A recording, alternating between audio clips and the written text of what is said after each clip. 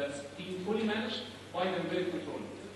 This is the first one. The second one, we have thin access points, which will do the whole RF scanning and the channel assignments and, um, let's say, uh, the client association and the, uh, the uh, all, all of the wireless related functions within the same appliance.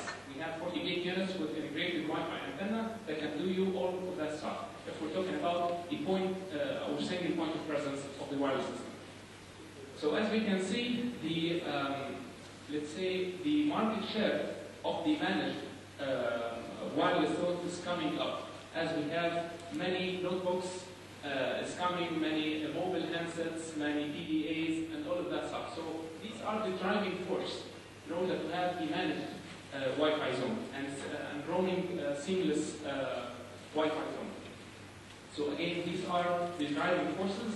Uh, what example of deployment like uh, education and healthcare, uh, especially in hospital, when you're paging one doctor to see uh, how much floor he is, so you can tell him to, to get into the emergency room or whatever. So these are simple examples. Uh, where do we uh, need managed wireless uh, zone? This is the growing market share of the access point versus controllers. So apparently, we can tell that the coming trend is the managed Wi-Fi zone, not the, the standalone access points. So this is in brief what this uh, slide is telling us. Okay. As long as we have a valid, uh, let's say, uh, option for one function, we have risk. Bottom line, we need to have the option valid as long as we're mitigating the risk. So with wireless, the wireless space and feeds is mature, but no one offer complete answer of security and control cha- challenge. What we're saying here is that we need a comprehensive uh, wireless system that's plugging, uh, sorry, that's plugging all the security holes. At the same time, we're getting the maximum performance of it. Okay?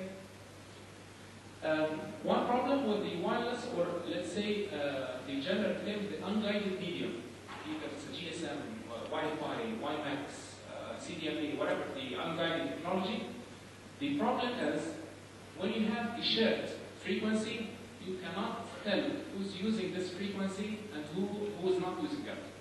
If we're talking enterprise grade level, we have one organization which is, the TRC. That's, uh, that's let's say, uh, say allocating what frequency one, one provider can use and what uh, other frequencies uh, could be used, what's the power of the signal, what's the maximum dB you can assign to your antennas and all of that stuff. So again, for wireless, for Wi-Fi, it's a shared frequency, ISM, uh, industrial, scientific, and medical. This is a frequency or bandwidth you do not need to license. So you can use it, I can use it, everyone can use it. So this is another challenge of uh, channel, uh, let's say, uh, management.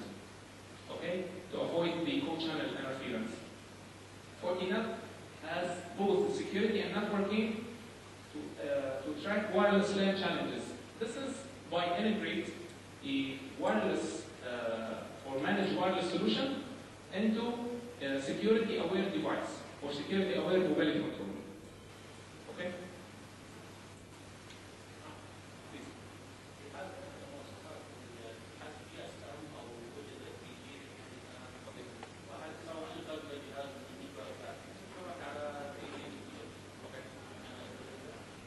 Basically, we're, yeah, we're getting into different domain. If you're willing to, uh, to block like other frequencies for, for 3G, so we're talking about German. Okay. Okay.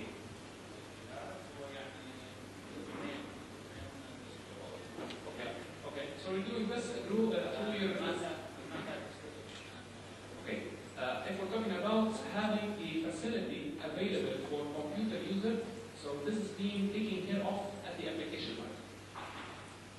So you can define, say, through your group policy to block like uh, 3G dongles. Basically, it's a USB interface. So if you're blocking the USB ports, okay. Yeah, definitely. I'm talking about the storage or the flash memories. I'm, I'm talking about, that's why I call it USB ports.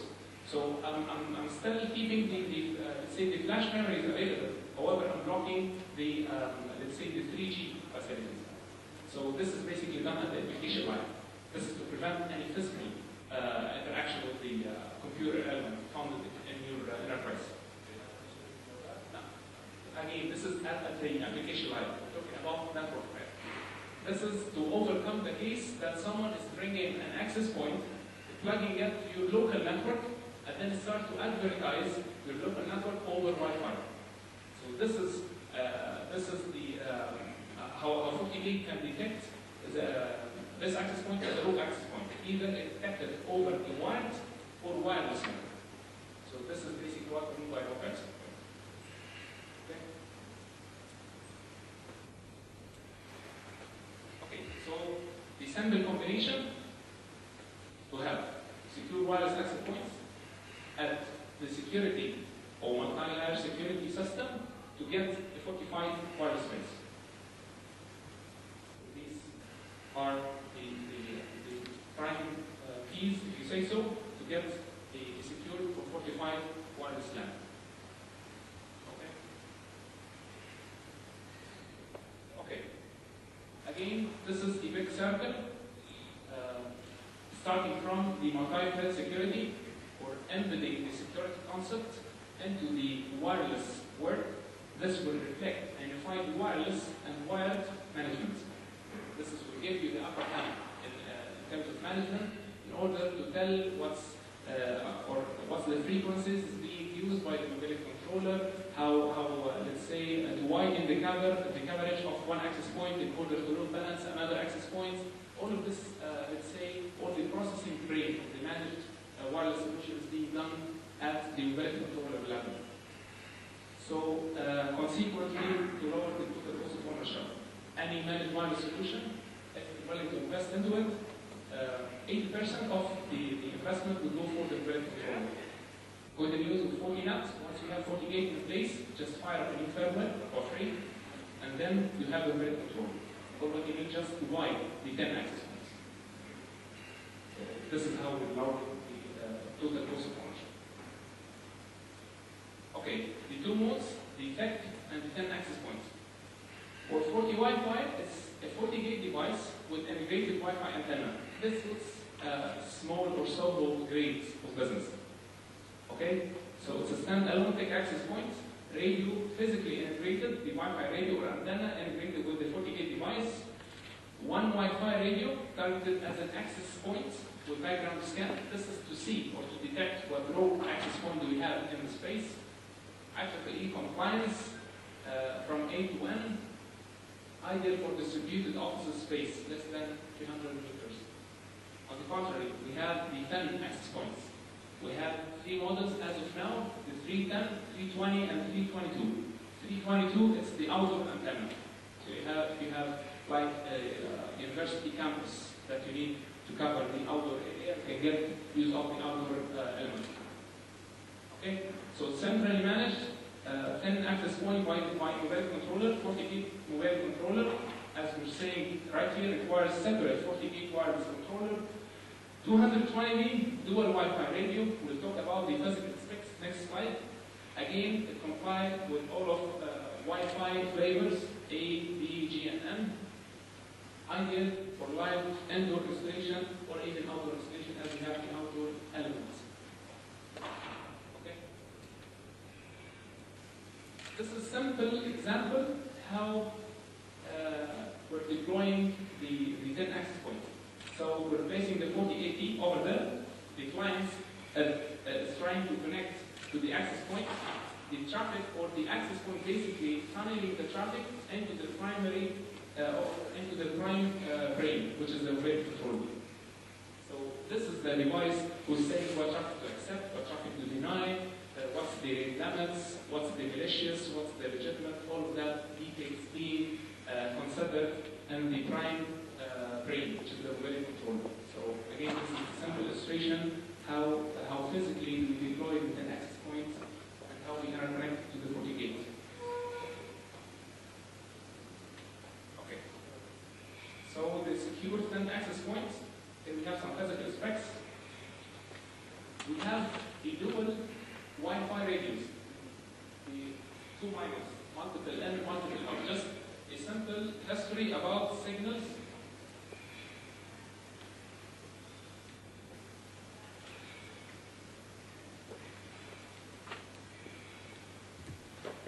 This is the transmitter. This is the receiver. So this is single in, single out.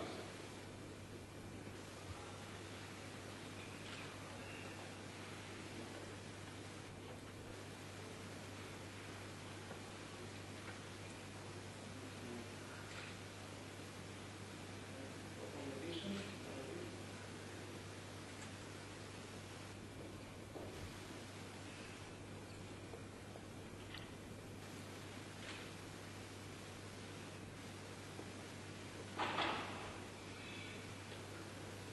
So this is to the, the, uh, the number of used antennas within the sender and receiver. Uh, speaking of uh, the FortiAP200 series, we're getting use of two antennas. This is to, uh, uh, let's say, boost the, um, the transmission and the quality of reception. So you're getting the signal over two antennas. So you can correlate and get these details into an algorithm through which you can get the output of what's what the exact information transmitted over that RF. So this is what we mean by MIMO, multiple in, multiple out. Simultaneous radio operation. Through simultaneous radio operation, we have one radio signal that advertising our SSIDs to the space, and another one just for scanning, to scan uh, in case of any rogue access point. Okay?